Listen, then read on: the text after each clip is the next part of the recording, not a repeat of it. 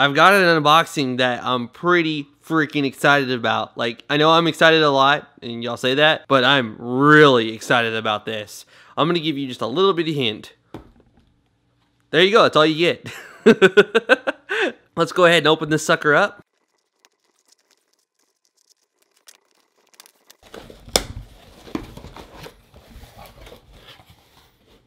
All right, now I think you kind of have a better idea what you're going to be looking at here in a second. This is very, very, very, very exciting. I've been using the smaller pocket version of this, and I really, really like it. It's so much better than using touchscreen buttons on like Gnar Bike Trials, which that's that's an awesome game, but it's such a hard name to say. Gnar like bike or Gnar bike. I don't know. Anyways, uh, so it's been really really fun with this controller. I'm so so so so excited to get this. Like I just cannot tell you.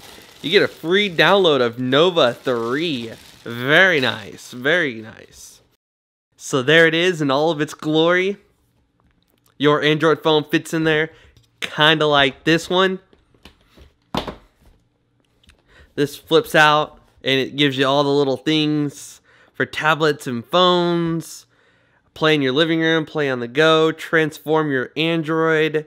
I'll let you pause that and read all that stuff if you want to. On the side here, there's some more information. And then there's a little QR code. If you're able to scan it, go ahead and do so. If you're not, change the video to 1080p and you should be able to. And then there's some more information on this side. Talks about like all the, I guess, different countries. I don't know what it says underneath them. And then you can go to mogaanywhere.com and then here's all the games like Own the Battleground, Score More in Sports and Win, Retro Play the old school way, Race Faster and Farther, Live the Adventure with Thumbs Off the Glass. Biggest selling point of these things, not having to touch the touchscreen, which I, I don't even play shooter games on Android because of that reason. I was trying to do this video without a knife, but um, yeah, I'm gonna go ahead and get one. I know it's a little hard to read, but it says mobile gaming system and it says that on the other side as well. So I went ahead and got my little pocket knife here. Let's go ahead and cut this open so we don't destroy the box trying to rip the freaking tape off of it.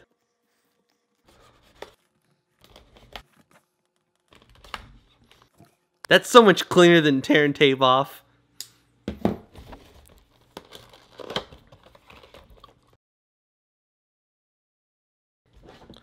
All right, now for the moment of truth. Box is empty. We can go ahead and set that to the side. Oh man, this is awesome. You've got a little cable. You've got, ooh, a tablet stand. I didn't even know it came with this thing. That's awesome. So on the Galaxy Tab 2, 7-inch, the Transformer Prime, which has its own little keyboard dock thing, I don't need it, and the Nexus 7. All those tablets I have will fit in there. When the refreshed Nexus 7 with a 1080p screen comes out, I'll be able to fit that in there. When the new Transformer Pad Infinity comes out, I'll be able to fit that in there as well. Alright, so we'll set that to the side as well. And then in here, oh, I can't show you that side. It's got the code of Nova, and I'm redeeming that code myself. We'll set that to the side as well and go through these real quick. Australian warranty instruction booklet. Wow, it's got several pages. Like, that's kind of crazy. And then there's the instructions for the uh, little tablet thingy majig. That's pretty cool though. I love that they included a little stand. That's awesome. Definitely gonna be trying that out. There you go now. That should be very readable. To connect this controller to your device, just like with the smaller version, you do need to use the Moga Pivot app, and I'm guessing they're saying to scan the QR code to access it. There you go, that should be scannable if you're watching this in 1080p. Let's cut the crap and get to the real important part of this video. On the back of this one, it contains the code to download the game for free.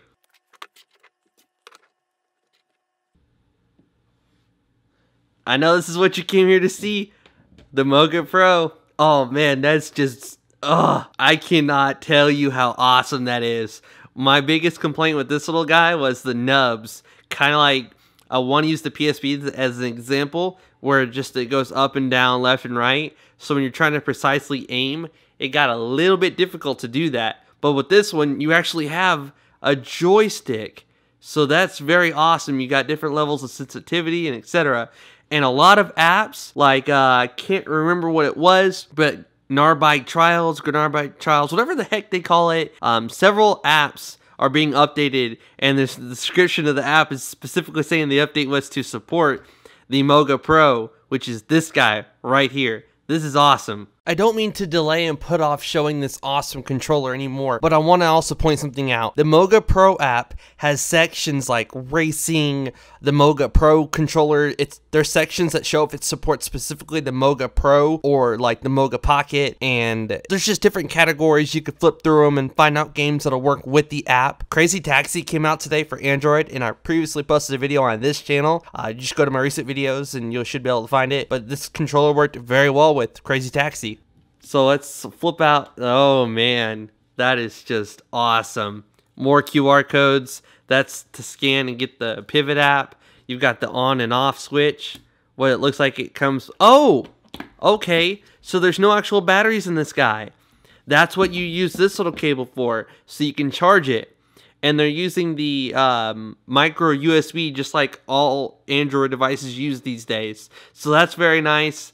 I love that because you see some people like the Transformer Prime that uses a specific, or the Galaxy Tab that use a specific connection, and you have to use that cable and no other cable. Someone like me, a consumer that has a million of these little cables lying around, I can't thank you enough for not changing that and making us go out and buy some special little adapter. I'm calling you out, Sony. so you just turn it off. It's got A and B so two people can use it. That statement was very wrong. A is what you would normally use, and B is what you would use for HID games. You'll see me set this controller up near the end and you'll see that. This controller uses Bluetooth, so in theory, an unlimited amount of people could play at the same time. You don't need to flip a switch for one. that was, I'm just a special person. Very cool. That's awesome. Now I've got my Note 2 here, so I'm gonna go ahead and use this as, as an example and then I'm going to take my note and I'm going to put it in there.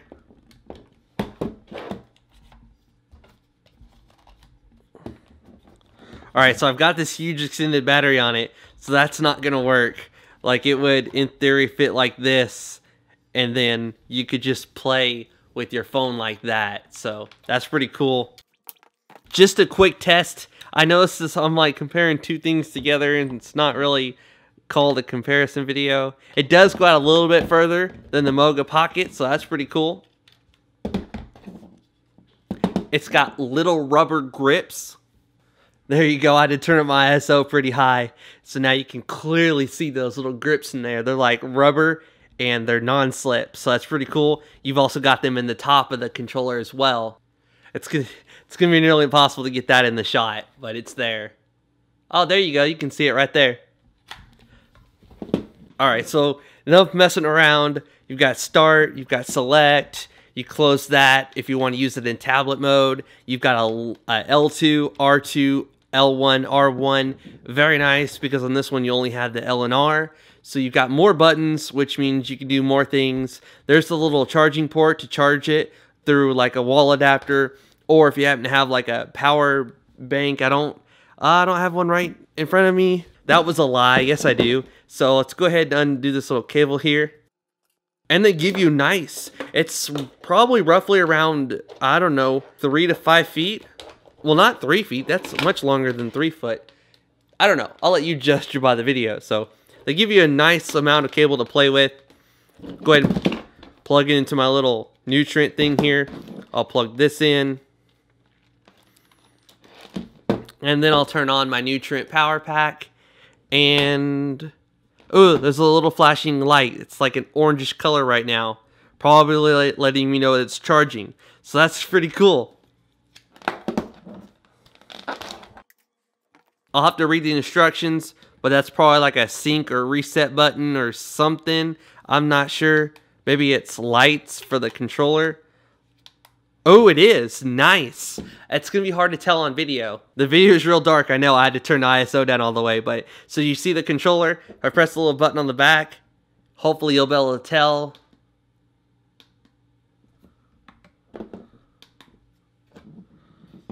Man, it's really hard to tell. But yeah, when you press it, the buttons light up.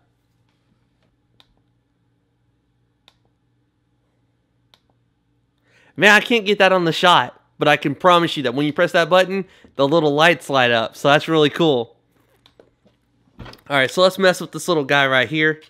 Looks like that flips out. That comes out. Awesome. So you've got a little stand and you can take like, so say since this has a huge fat battery on it, nice. I can fit my phone on there and it fits perfectly. That is awesome. And then I can just close this, sync up the, the controller with my phone, and I can start playing, you know, any game that I want to. Alright, so it basically you'll just download the Moga Pivot app and you will turn on the controller. I'm going to go ahead and set mine to A and it says turn on Bluetooth. Uh, yes, allow. It's turning on my Bluetooth. And uh, love your Moga. Check out the Moga Pro. Uh, continue. Hmm. All right, so this is the Moga Pocket. I'm going to go ahead and press add a new controller. And I'm going to choose the Moga Pro. And then it says provides the best game experience in A. Also offers mode B to use with HID games. So, okay, cool. Um, set up A and B. Nice. So switch it to B. Moga is ready. It's searching for the controller.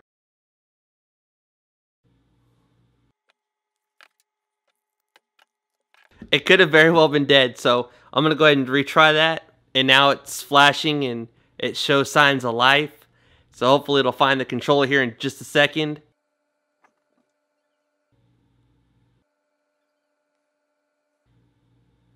All right, it has been paired, so I'm gonna go ahead and press continue. After you press continue and then you see the next screen where you go through your Bluetooth devices, you're supposed to tap on the Moga Pro HID text. It says BDA Moga Pro HID. So let's go ahead and configure A, continue.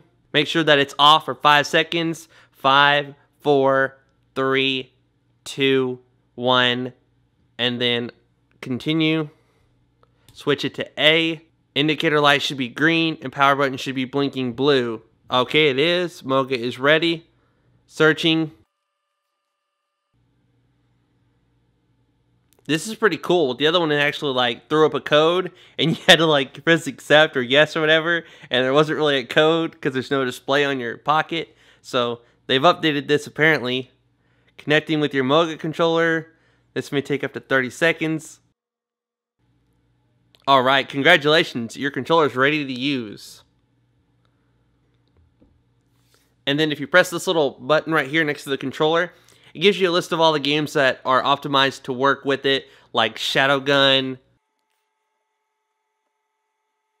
I'm going to go ahead and download uh, one of the racing games I play. All right, so the, the game's done. I'm going to go ahead and launch it real quick. And I'm just going to give you a quick, you know, idea of how this works. And yeah, so I'll start game. I'll choose free. I'll choose one of the ones I've already done. And then... Check that out, man. No on-screen buttons. The buttons on the screen actually disappear when you have a controller hooked up. Well, at least in this game. And games that specifically support the Moga controller. And what's really cool is this game does actually sense, hey, you're barely pulling on the trigger and then the more you pull on it, the more you lean. So that's really, really cool. And you can press A to accelerate, and that resets your bike. That's the menu. so this is cool. In the description, you'll find a link to this controller if you want to check it out. I'll have the best pricing possible by clicking my link. If you want to buy it later, please click the link and then add it to your wish list or your cart, and then check out at a later date. It helps out my channel when you do that. If you could also give a video a thumbs up if you enjoyed it, and subscribe to my channel if you're new here. This is What Would Josh Do, and I'm out. Alright, the video was a little bit longer than I wanted it to be, so I'm going to go ahead and say a few things. I've been using this controller for a couple days now. I put off the unboxing, unfortunately, and I'm just now getting around to it. I've got to say, I absolutely freaking love this thing. I actually have to buy a second one now because my wife... she was she really likes it too. So both of us are kind of like clashing, like, hey, it's my turn, like damn kids. so this thing is insanely awesome. It is definitely worth it. If you play any shooter games, you will definitely admire the fact that you don't have to use on-screen keys to like turn and navigate and etc. This controller's freaking awesome. It's worth it. Alright, I lied. I'm not done just yet. It's funny, I'm actually using the Moga Pocket right now because my wife has the Moga Pro. I was like, I'm telling you, gotta get a second one. But yeah, the freaking Moga Pro is definitely better than the Moga Pocket. The Moga Pocket is good for some games like Sonic or Gunnar Bike Trials or however you pronounce that. Games like that it's definitely a go. It's definitely a good device. But as far as like shooter games, having that real joystick like on the Xbox and PlayStation, that is definitely something that's very, very beneficial and awesome. Besides having little nubs that just like, you know, like the PSP like I said earlier. So it's definitely a plus having those awesome dual analog joysticks compared to the Moga Pocket. So the extra like I think $20 in price difference, honestly, you're going to be much happier with the Moga Pro than you are with the Moga Pocket. Now also, keep in mind, the Moga Pocket is a smaller device than the Moga Pro. So that's also a, something you need to consider. You can fit the Moga Pocket in your pocket real easily, but the Moga Pro, that's a different story. So I guess you also got to keep that in mind when you're considering which controller to purchase. Alright, I promise. Now I'm done. This is what would Josh do, and I'm out. And no, I am most definitely not cheating right now. oh, I'm such a liar.